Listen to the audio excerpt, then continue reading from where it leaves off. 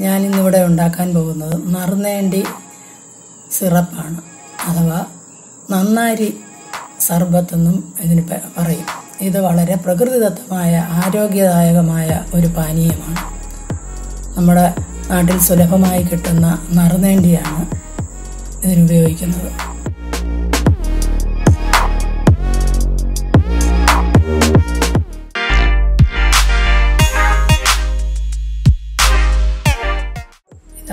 നറുനേണ്ടി നറുനേണ്ടി ചെടിയുടെ വേരാണ് ഈ കാണുന്നത്. വേര് വളർന്നിട്ടാണ് ഇത് ഉപയോഗിക്കുന്നത്. ഉണങ്ങിയ വേരാണ് ഇവിടെ ഉപയോഗിച്ചിരിക്കുന്നത്. ഞാനിവിടെ ഉണ്ടാക്കാൻ പോകുന്നത് രണ്ട് ലിറ്റർ സിറപ്പിന് വേണ്ടിയിട്ടുള്ള നറുനേണ്ടിയാണ് അത് എൺപത് ഗ്രാം വേണ്ടി വരും. രണ്ട് ലിറ്റർ സിറപ്പ് ഉണ്ടാക്കാൻ വേണ്ടി എൺപത് ഗ്രാം നറുനേണ്ടിയാണ് ഉപയോഗിച്ചിരിക്കുന്നത്. മണ്ണിനടിയിലുള്ള സാധനമായതുകൊണ്ട് ഇത് നന്നായി കഴുകുക കഴുകിയതിന് ശേഷം വെള്ളത്തിലിടുക. ആറ് മണിക്കൂർ കുതിർന്നതിന് ശേഷം ഇത് ചതച്ചെടുക്കുക. നറുനേണ്ടി സിറപ്പ് വളരെ ആരോഗ്യദായകമായ ഒരു പാനീയമാണ്. ഇത് മൂത്രാശയ സംബന്ധമായ എല്ലാ രോഗങ്ങൾക്കും വളരെ ഉത്തമമാണ്. കല്ലിൽ വെച്ച് ചതച്ചെടുക്കുന്നതാണ് ഏറ്റവും നല്ലത്. ചതച്ചെടുത്ത നറുനേണ്ടി വേരാണ് ഈ കാണുന്നത്. ഇത് വീണ്ടും ഒന്നുകൂടി മിക്സിയിൽ ഒന്ന് ബ്ലെൻഡ് ചെയ്തെടുക്കുക. അപ്പോൾ ഇതിന്റെ ഇത് നന്നായി ചതഞ്ഞ് കിട്ടും. അതിനുശേഷം പഞ്ചസാര ലായനി തയ്യാറാക്കുക. രണ്ട് ലിറ്റർ സിറപ്പിന് വേണ്ടി ആയിരത്തി നാനൂറ് എം എൽ വെള്ളവും ആയിരത്തി അറുന്നൂറ് ഗ്രാം പഞ്ചസാരയുമാണ് വേണ്ടത്. പഞ്ചസാര നന്നായി ഇളക്കി യോജിപ്പിക്കുക. പഞ്ചസാര കൂടുതലായാൽ അത് അടുപ്പിൽ വെച്ച് ചൂടാക്കിയാൽ അത് മൊത്തമായി അതിൽ ലയിക്കും.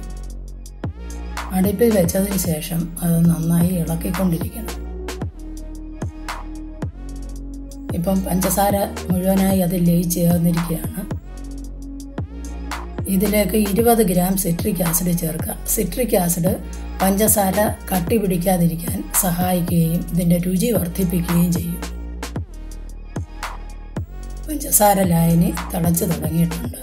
ഇതിനി ഒരു വലിയ പാത്രത്തിലേക്ക് മാറ്റും.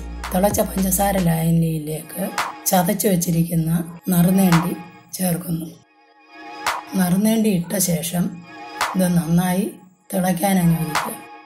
നറുനേണ്ടിയിട്ട് തിള വന്നതിന് ശേഷം തീ സിമ്മിലാക്കുക.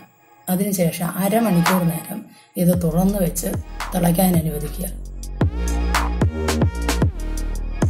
ഇത് തണുത്ത ശേഷം ഒരു നേർത്ത തുണിയിൽ അരിച്ചെടുക്കുക.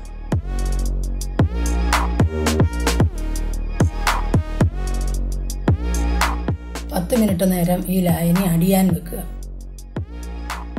അതിന്റെ മട്ടി അടിഞ്ഞതിന് ശേഷം ഇത് നമുക്ക് സെർവ് ചെയ്യാം.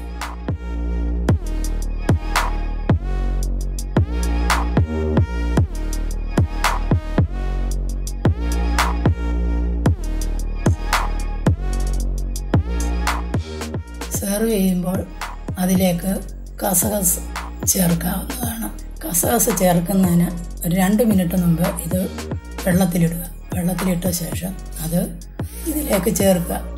കസകസ് ചേർക്കുമ്പോൾ ഇതിനൊരു കൂളിംഗ് ഇഫക്റ്റ് നമുക്ക് ലഭിക്കുന്നതാണ്. കസകസ് ചേർക്കാതെയും ഉപയോഗിക്കാം. അങ്ങനെ നമ്മുടെ നറുനേണ്ടി സ്ക്വാഷ് തയ്യാറായിരിക്കുകയാണ്. എല്ലാവർക്കും ഇത് പരീക്ഷിച്ച് നോക്കാം രുചിച്ചു നോക്കാവുന്നതാണ്.